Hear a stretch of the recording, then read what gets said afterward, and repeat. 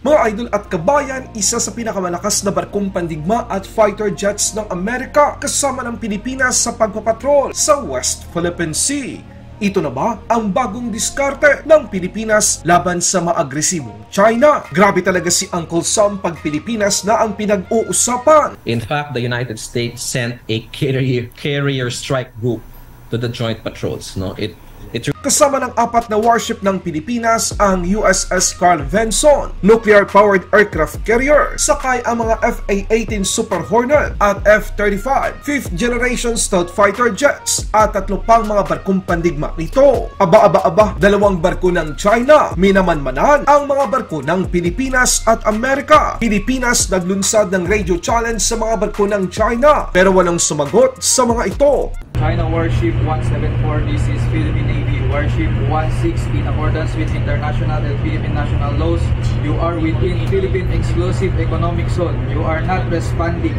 Your refusal to respond will be reported to concerned authorities. Over. China hanggang tingin na lang sa Pilipinas at Amerika. Ito ang mga balitang ating pag-uusapan dito lang sa Good News Philippines. Huwag kalimutang i-like ang video, mag-subscribe, mabilis lang ito. Promise!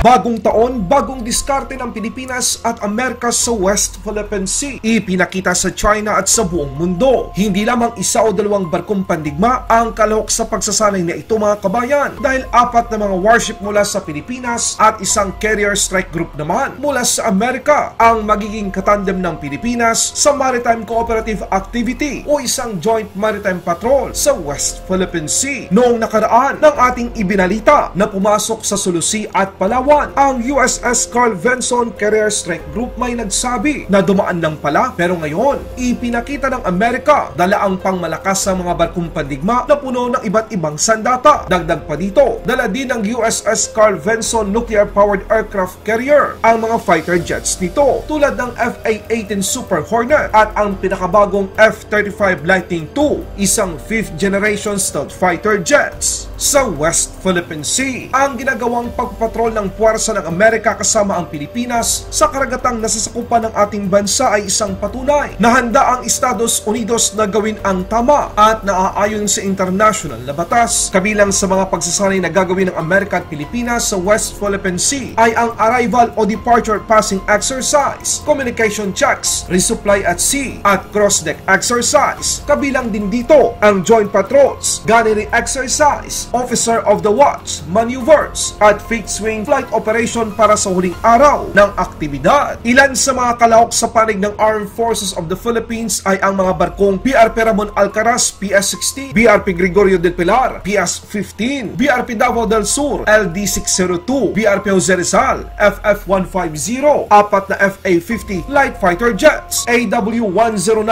attack helicopter, at ang AW-159 anti-submarine Wildcat helicopter. Habang sa panig naman ng Amerika ay ang USS Carl Vinson CVN-70 aircraft carrier, USS Princeton CG-59 isang cruiser, dalawang destroyers, ang USS Terret DDG-104 at USS Kidd DDG-100, mga helicopter tulad ng MH-60S at MH-60R Seahawks, mga fighter jets tulad ng FA-18 Super Hornet at F-35 Lightning II. Yan ang lakas ng puwersa na ipinadala ng Amerika para sa Pilipinas. Nihayag naman ng Philippine Navy kung gaano kaimportante ang Joint Maritime Patrol na ito ng Pilipinas at Amerika. We've conducted series of activities. Um, number one, the com check, communication check, wherein we primarily want to ensure connectivity and command and control of participating forces both from the Philippines and as well as from the US.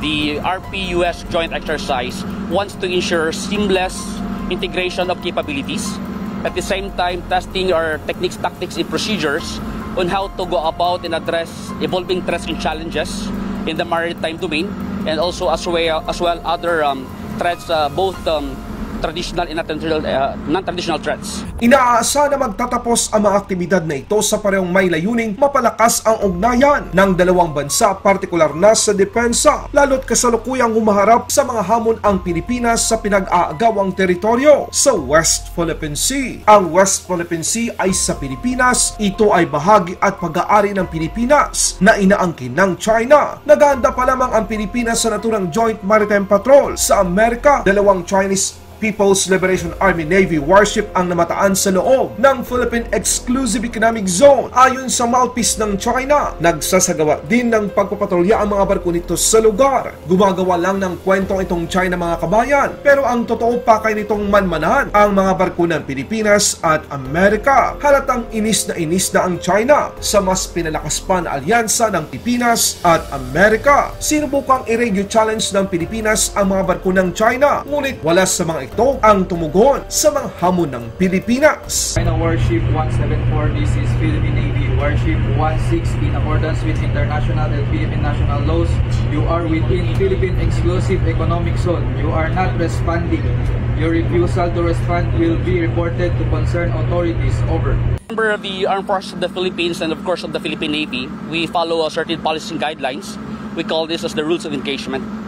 So uh, this is our Bible in ensuring that in the event of uh, disruptive, um, at the same time dangerous maneuvers from any other countries that want to disrupt um, the, the, the, the exercise, will be uh, uh, obliged to follow this one. Kinumpirma naman ng Pilipinas na mas marami pang ganitong pagsasanay ang gagawin ng Pilipinas at Amerika sa hinaharap. Yes, we're going to see more of that. And uh, the second installment of the joint patrols has been very successful.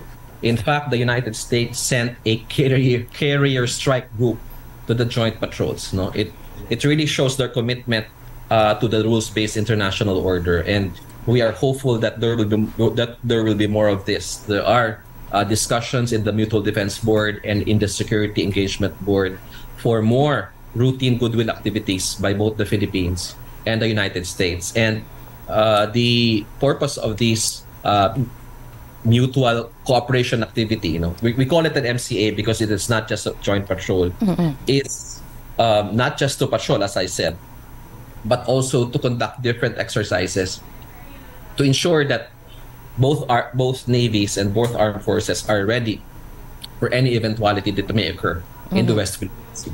Uh, we are preparing our country uh, along uh, all fronts.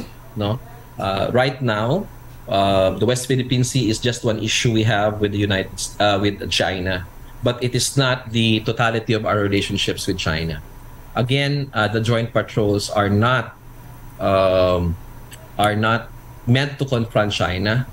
Uh, it is not being conducted outside of the West Philippine Sea or our uh, exclusive economic zone. It is just being conducted in our exclusive economic zone because we want um, for us to exercise our sovereign rights and sovereignty over uh, the, the West Philippine Sea.